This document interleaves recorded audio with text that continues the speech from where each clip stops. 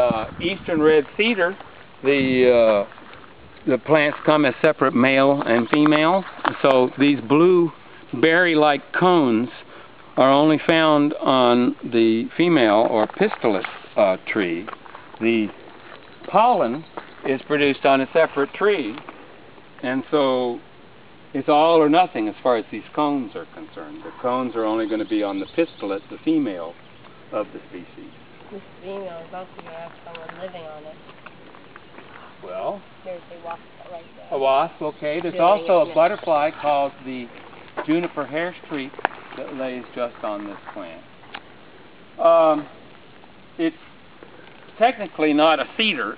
Call- It's called cedar, but it's really a juniper. It's Juniperus virginiana. And juniper is actually the word where the alcoholic drink gin comes from. Gin is actually from juniper, and gin is made from the berries of a different cedar, a different juniper, juniper communis. But it's the same thing. It's these cones that are fermented to make gin in a in a related juniper. Now, Jim, is it loaded because it's uh, there's more stress in this particular location? I don't know.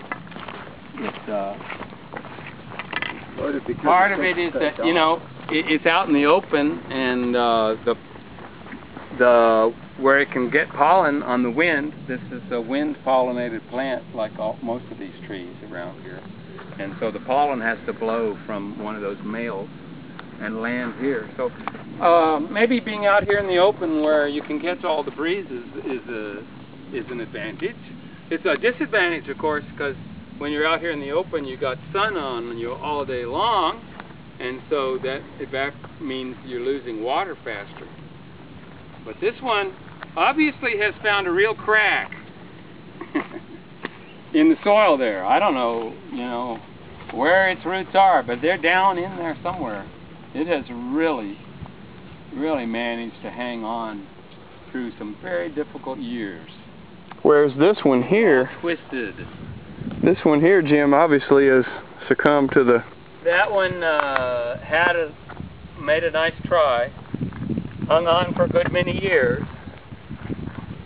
but eventually it got too dry for the soil that was there, and that was the end of it. It looks cool. That's again a water oak. It's Well, there's there are two plants in here. This is oak here, with the what's left of the acorn, Yeah. the caps of the acorn. I think this is a red cedar.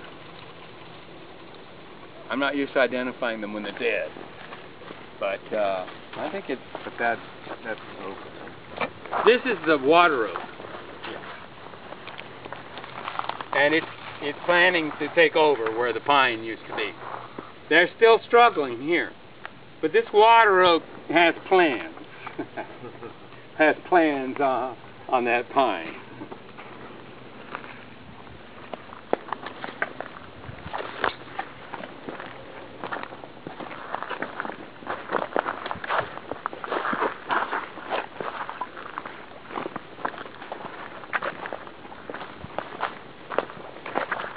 And then this would be a male uh, cedar, correct, It Jim? looks like it. With no berries. No, No. no uh, berries, no cones, and uh, the male cones, you know, once they've shed the pollen, just drop off, and so you can't really see them. But the absence of, uh, well, here's what's left of the male cones. They're starting to fall off, but these little brown things are, are the male cones where the pollen is produced very different. And see, they fall right off once they've once they've done their function. So it wants to come right off into my hand. So so these are the male cones. So it's one or the other.